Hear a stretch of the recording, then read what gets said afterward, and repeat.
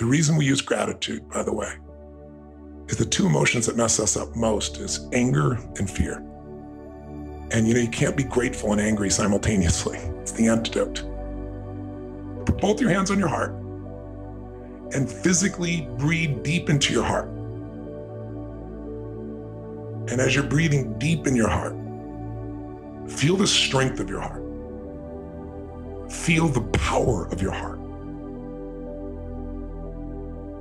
Feel the beauty of your heart. What are you proud or grateful that your heart has guided you to do or to give or to feel or to enjoy? And feel the strength of your heart. Breathe into it. Feel the blood flow, the oxygen. And feel grateful for your heart first. Because think about it. You didn't have to earn this heart. It was given to you. You didn't have to prove your value or your worth. You didn't have to accomplish anything. Something loved you enough to give you the gift of life. And as long as its heart is beating, you have that gift and you live. And you don't have to think about it. What a gift. So as you breathe in your heart, feeling your powerful heart, I want you just for a moment, we're going to think of three, but just think first of one event in your life, one experience, one moment that you could feel so grateful for if you wanted to. A magic moment, a sacred moment, a sexy moment, a beautiful moment, a loving moment, any moment that really you could feel grateful for if you wanted to right now. And then step into that memory for a minute. Like step in your body as if you were there. See what you would have saw then as if you're there, or hear what you'd hear back then, or breathe the way you were breathing back then. And if you fill up with that sense of gratitude for that moment, how do you smile when you feel so grateful so thankful?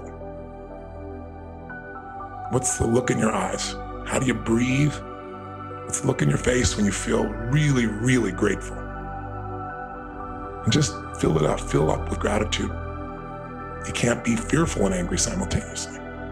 So fill up with the gratitude. Now think of a second moment you could feel truly grateful for. And again, breathe deep in your heart. Feel that power.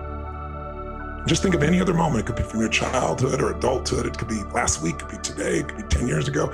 Any moment that you could just truly feel like that was grace, that was magical, that was beautiful, that that's magnificent. Something that gives you the feeling of tremendous gratitude if you really focused on it.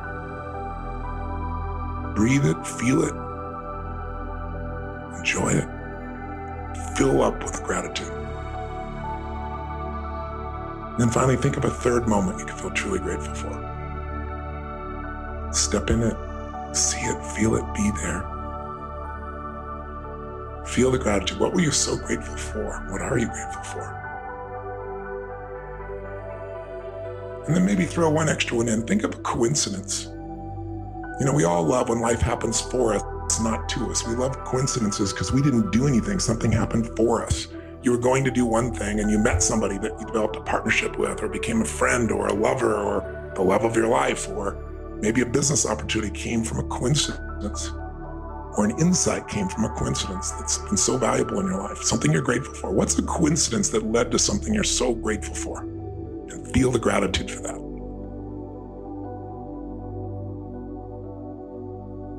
And was it a coincidence or were you guided